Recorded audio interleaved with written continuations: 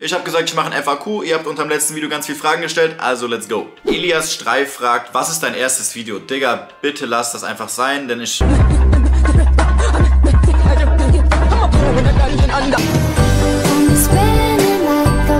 Lass einfach nicht drüber reden. Magdalena Hagen, wie bist du nach Berlin gekommen? Du bist doch Schweizer. Das stimmt sogar. Ähm, ich bin vor vier Jahren nach Berlin gezogen ungefähr. Das ist Berlin! Damals wegen meinem Studium. Ich habe dann Business Management Social Media studiert, hab's beendet. Und dann irgendwann habe ich vor zwei Jahren ich mit Social Media angefangen und jetzt ist es mein Job, glücklicherweise. EN Place fragt, wer hat dir geholfen mit YouTube anzufangen? Niemand. Ich habe das alles selber gemacht.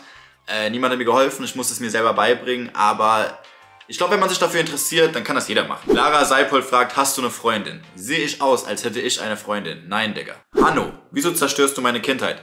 Das ist, was ich mir sehr oft frage, ehrlich gesagt. Ich weiß nicht, wie das entstanden ist damals. Ich habe mich sehr für Filme interessiert Bruder, das ist dann irgendwie einfach passiert und dann habt ihr das auf TikTok vor allem gefeiert und dann ging das richtig ab, Alter. Das war so richtig Hypephase von einem Jahr oder so. Ich weiß nicht, ihr habt das so gefeiert und habt es halt einfach weitergemacht. Skyhörnchen fragt, was sind deine Film- und Serienempfehlungen? Boah, da habe ich ein paar.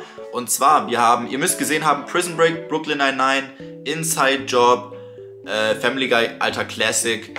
Was gibt's noch so? Die Discounter, Big auf Prime Video gerade und ich glaube, das sind so meine Favoriten zurzeit. Rick and Morty, natürlich Rick and Morty. Lot Goss fragt, liebst du es YouTuber zu sein? Ja, also ich meine, es ist halt schon sehr entspannt. Du kannst wirklich einfach machen, was du willst. Vor allem, wenn du machen kannst, was du willst, dann macht das sehr, sehr viel Spaß. Viele müssen sich verstellen, ich glücklicherweise nicht. Ich wach jeden Tag auf, denke mir irgendeinen komischen Quatsch aus und kann den machen. Das ist schon echt sehr entspannt. Und das Beste ist, ich kann jeden Tag machen, was ich will. Das schätze ich am meisten. Viele wissen nicht, dass ich einen Podcast habe. Ich blende mal kurz den Clip ein. Wenn wir eins gehen, mache ich hier Kyla hin. Nein, wirklich? For real. Maul. Ein Kollege von mir hat mir einfach in mein Zimmer gekackt. Was? Ja. Warum? An meinem 18. Geburtstag. Fick dich doch. Free Wespe. Ja, jetzt. Auch jetzt können ich laufen, die haben keine Beine, falls Stimmt. du ist. Zwölf Jahre von meinem Leben Fingernägel gegessen. ich nee, mein Fußnägel war dann halt so die Steigerung davon. Wie eng? Ich. Warum sagst du mit SCH? Warum? Ich kann das nicht anders. Ich bin näher an der ersten Darmspiegelung als an meinem ersten Mal. Du bist 29 und machst Kindervideos im Internet. Ja, Alter. Digga, ich habe die Kontrolle abgegeben, Mann. Auf einmal war da Vogelscheiße dran. Die haben mich verarscht, die Wichser. Das heißt, wenn ihr Podcast 2 dann sowieso mehr von mir sehen wollt, dann würde ich euch empfehlen, den Podcast reinzuziehen. After Unzensiert heißt der. Der war sogar Nummer 1 in den Charts. Dabei laden wir jede Woche immer einen Gast ein. Wir hatten schon ziemlich coole Gäste. Nico Santos, Dadan, Kyla Scheiks ähm, und noch viele weitere. Checkt das gerne mal ab. Ich tu den Link einfach in die Bio unten. Eric Shahan fragt, wir haben dich gerade gesehen mit deiner Freundin im Planetarium Berlin, aber haben uns nicht getraut, dich anzusprechen. Ey, wann auch immer ihr mich irgendwo in meiner Öffentlichkeit seht, sprecht mich gerne an. Es macht es viel entspannter. Ich sag dir, das, das Weirdeste und das Unangenehmste für alle Beteiligten ist, wenn ihr einfach nur schaut. Weil ich sehe, dass ihr schaut, man merkt das sofort und ihr zückt euer Handy und so. Das ist, das ist für uns alle awkward. Kommt einfach zu mir, sagt Hallo, fragt nach einem Foto, wir können kurz quatschen, gerne. Äh, ist viel entspannter. Also wenn ihr mich irgendwo mal seht, sprecht mich gerne an. Clancy, seit wann machst du schon YouTube? Ich mache YouTube ungefähr seit vier, fünf Monaten ungefähr. TikTok mache ich seit zwei Jahren, das ist schon ein bisschen länger. Aber es macht halt unnormal Spaß. Vor allem wissen das nicht mal viele, dass ich TikTok mache. Bei TikTok sind wir eben mittlerweile schon bei zweieinhalb Millionen oder so. Das ging unnormal schnell. YouTube war eher so das, was ich am wenigsten mache sogar. Ich mache am meisten Instagram, dann TikTok, dann YouTube. Also wenn ihr irgendwie noch mehr Content von mir sehen wollt, dann folgt mir auf jeden Fall auf Instagram. Winklin, die Katze zieht eine Fratze. Digga, eure YouTube-Namen sind schon weird. Welcher Beruf wolltest du machen, bevor du die Idee Influ Influencer, Influencer, alles klar, Digga. Ehrlich gesagt, ich mag den Term Influencer nicht. Ich finde irgendwie Content Creator cooler. Zweitens, äh, welchen Beruf wollte ich machen? Damals wollte ich, ich wollte beim Open Air Frauenfeld in Marketing arbeiten. Das heißt so das Organisieren von Festivals. Da habe ich mich gesehen. Lukas, Marcel, Marcel? Ah, der meint, ach Digga, der meint Marvel.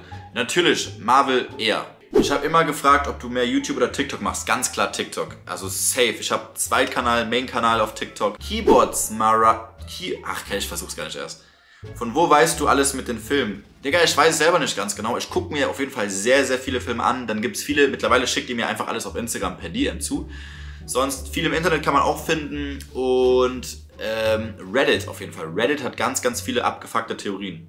Bist du sehr viel am Handy oder am Computer? Digga, wenn ich meine Bildschirmzeit einblende, wird's ehrenlos. Warte mal, ich geh mal kurz gucken. Alter, meine Bildschirm... Oh mein Gott, nein. Meine Bildschirmzeit letzte Woche im Durchschnitt war 9 Stunden pro Tag. Junge, wie kann das sein? Digga, davor 10 Stunden. Wer kann das toppen? Digga, das ist... Oh, das kann nicht gesund sein, oder? Oh, nee. Oh, das ist... Oh, da schäme ich mich gerade richtig für. Scheiße. Firefighter 007 fragt, hast du 900 November verkackt? Sag ehrlich. Digga, nach 5 Minuten sofort. Gorgor LP, hast du schon mal darüber nachgedacht, mit YouTube oder TikTok aufzuhören? Ja, Digga, jeden Tag. Jeden Tag denkt man drüber nach, weil man einfach so versessen ist auf, auf gute Videos, auf Zahlen, dass alles nach oben geht. Man muss sich halt einfach daran gewöhnen, dass es halt nicht immer super laufen kann. Und das ist, glaube ich, das Problem, weil ob ich einen guten Job mache, hängt nicht immer an mir ab. So, es hängt auch manchmal am Algorithmus ab ob man gesperrt wird, was auch immer. Und das ist dann schon sehr scheiße, wenn man das nicht, wenn man nicht die Kontrolle darüber hat, versteht ihr? Aber ich liebe meinen Job trotzdem. Woher hast du die YouTube-Halskette? Das ist die meistgestellte Frage unter jedem einzelnen Video von mir. Und ich muss ehrlich sagen, ihr werdet die nicht kaufen können, weil ich habe die irgendwo in Moabit auf einem Flohmarkt gefunden. Die könnt ihr nicht kaufen. Außer ihr seid auf einem Flohmarkt und findet den Laden. Weil das, wie gesagt, es ist kein Laden, das war einfach ein Typ im Mauerpark, der mir die Kette verkauft hat. Drum wird es schwer, dass ihr die irgendwie kaufen könnt. Tut mir leid. Il Cello, wie schaffst du es, dass es dir egal ist, was die Leute über dich denken? Bruder, es ist mir nicht egal. Negative Kommentare tun weh. Ich sag dir, wie es ist. Ramazan Aras, von wo bekommst du deine Ideen für YouTube-Videos? Ehrlich gesagt, von meinem Alltag. Vieles natürlich auch aus Memes, die ich selber sehe, aber meistens Alltag. So, ich lese Schlagzeilen in der Zeitung, zum Beispiel mit diesem WM-Ding. Viele Ideen kommen einfach über, über Lesen, I guess, Zeitung, was sehen, was in der Welt passiert und dann, wo ich mir einfach so denke, Digga, for real? So, hä?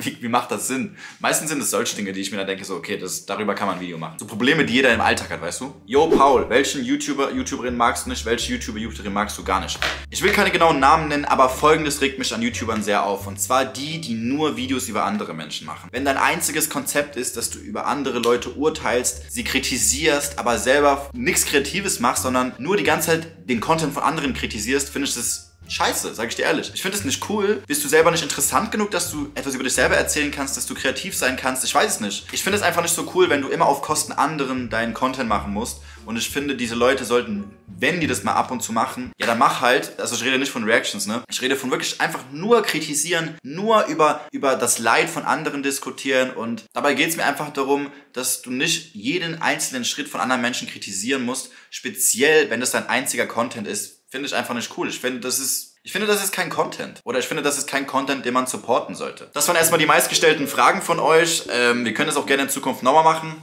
Ich glaube, fürs Erste reicht es erstmal. Es werden mehr Langzeitvideos kommen. Ich hoffe, die sind gut. Drum lasst ein Like da und zeigt mir, dass ihr die Videos auch feiert. Dann lohnt es sich für mich auch weiterzumachen. Folgt mir natürlich auf Instagram. Da werdet ihr immer up to date sein. Lasst ein Like da und ich hoffe, euch hat das Video gefallen. Bis dann.